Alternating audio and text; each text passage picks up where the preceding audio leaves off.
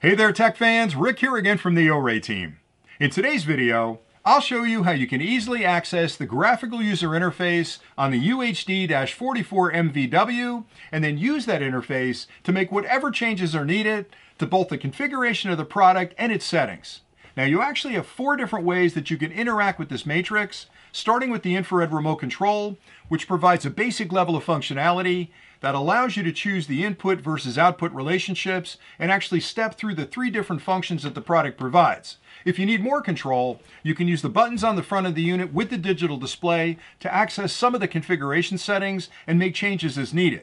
You can also connect it through an RS-232 port in the back to a local computer for even more control, but by far the most expansive control is through that graphical user interface because you'll connect this up to your network, open a web browser, and have access to every configuration step available.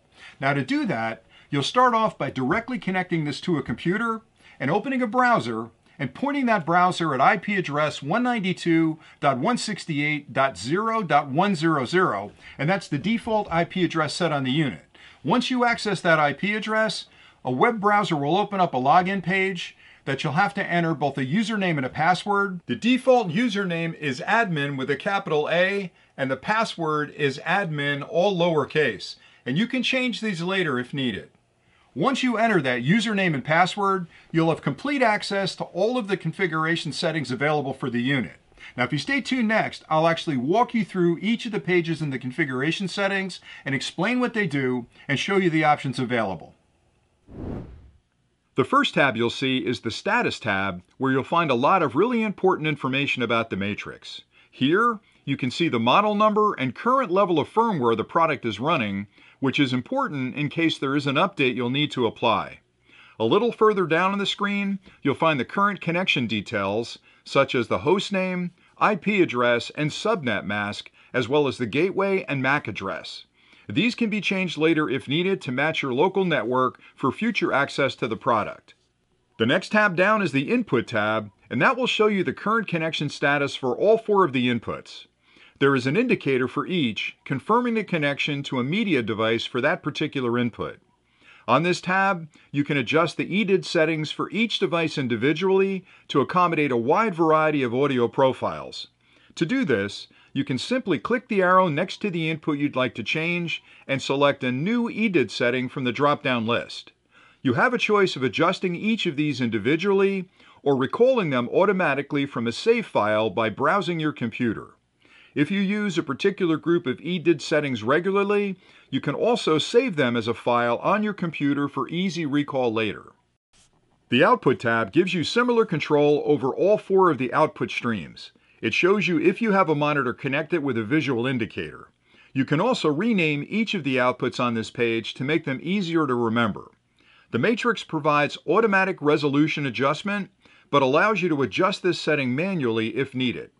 You have additional control over the color space for each individual input and can adjust these by tapping the arrow to the right of the setting and selecting a new option. You can also adjust the HDCP version being applied for copy protection on each of the outputs. The next tab down is the CEC tab, which provides complete digital control over the matrix.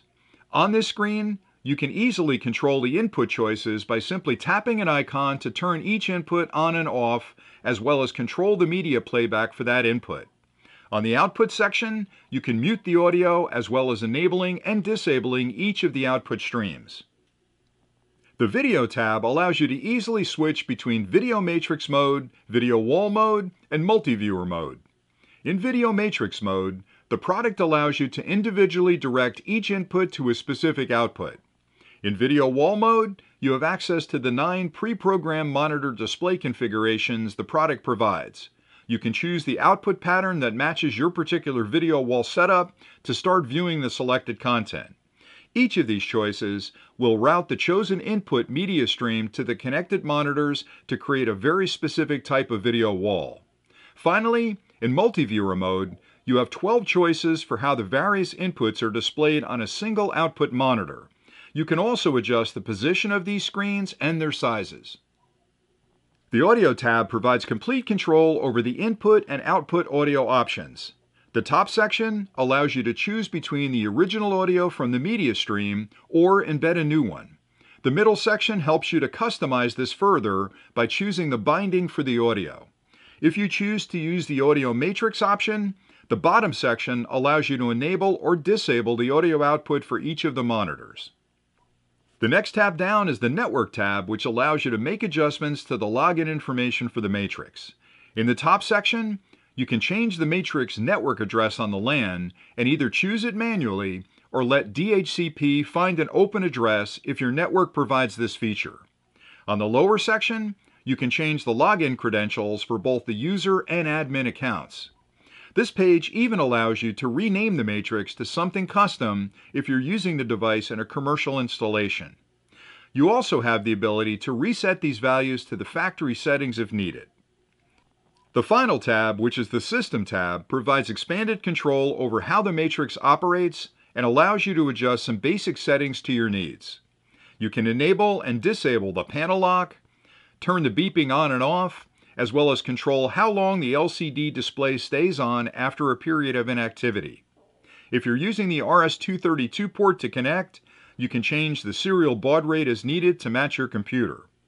This is also the screen that you'll use to update firmware later on if needed.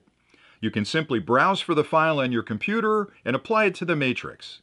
Finally, this tab allows you to do a complete factory reset of the matrix or reboot it over the network if it needs to be reset.